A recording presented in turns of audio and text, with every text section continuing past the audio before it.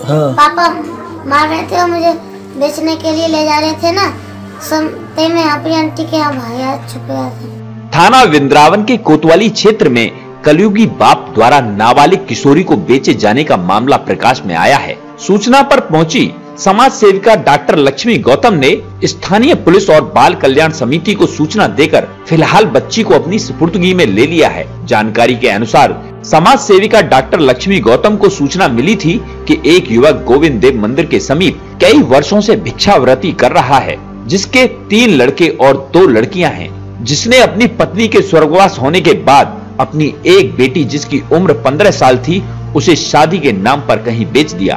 और दूसरी बेटी जो कि नाबालिग है, उसे कहीं बेचने के लिए ले जा रहा है। जिसकी सूचना उन्होंने तत्काल स्थानीय पुलिस और बाल कल्याण समिति को दे दी। सूचना पर पहुँची पुलिस ने नाबालिग किशोरी को डॉक्टर गौतम की सुपुर्दगी में देकर मामले की जाँच शुरू कर दी है। अ, मेरे पास अभी लगभग 11 बजे के करीब यहाँ गोविंद जी के फर्श से शुक्ला जी हैं उनका फ़ोन आया था कि यहाँ एक भिखारी काफ़ी दिनों से रह रहा था और उसके कई बच्चे भी थे और शायद बच्चे यहीं पैदा हुए थे वो और यहीं पले बड़े हैं। इन्होंने काफ़ी उनकी बच्चों की देखभाल भी की थी हेल्प भी की थी।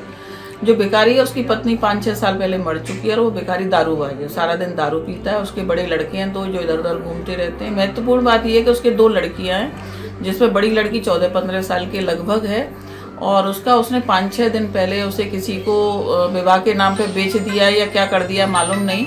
उसकी छोटी बेटी ने बताया कि मेरे पापा ने पैसे लिए थे जहाँ मेरी बहन को भेजा है और आज इस छोटी बच्ची को बेचने के लिए वो ले जा रहा था। इन लोगों ने विरोध किया और उस बच्ची को अपने पास बैठा लिया, मुझे सूचना दी। मैंने कोतवाली वृंदावन में सूचना दी। वहाँ से एक सब इंस्पेक्टर महोदय आए हैं और वो भिखारी को लेके गए हैं। एक छोटा बेटा भी है, सात आठ साल का, जो उस भिखारी के साथ में है। मैंने अभी इस विषय की जानकारी जो बाल कल्याण समिति के उच्चाधिकारी हैं लखनऊ में भी दी है डीपीओ साहब से भी मैंने बात कर ली है सूचना उनको दे दी है।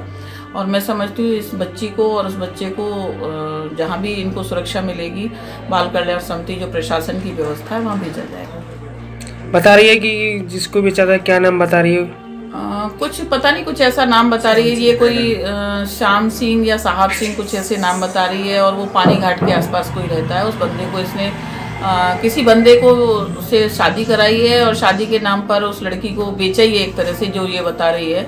और छठी ग्राम में किसी जगह घर में ले जाके उसके फेरे वेरे कराए हैं। और आज इस बच्ची को ये बच्ची बता रही है कि परसों मेरा पापा किसी से बात कर रहा था कि एक लड़की तो इंतज़ाम कर दिया अब दूसरी लड़की को भी मुझे बेचना है।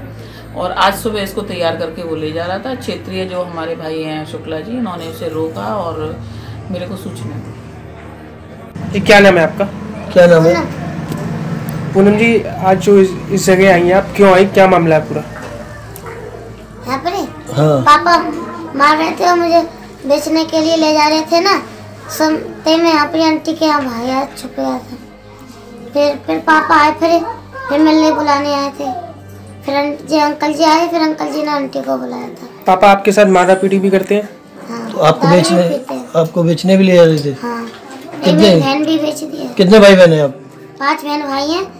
दो तीन तीन भाई हैं बड़े बड़े और दो बहन छोटी दो बहन आपकी बहन भी बेची दी थी उन्होंने? हाँ। कब बेची थी वो? बस ये है छः सात दिन होगा वाला। बताया क्या बेची थी? हाँ हाँ। कहाँ बेची छठी थी? छठी गिरा पर? हाँ। छठी करा बेची। क्या नाम था उसकी बहन का? आपकी बहन का? पूजा। किसको? बेची है? छठी करा में।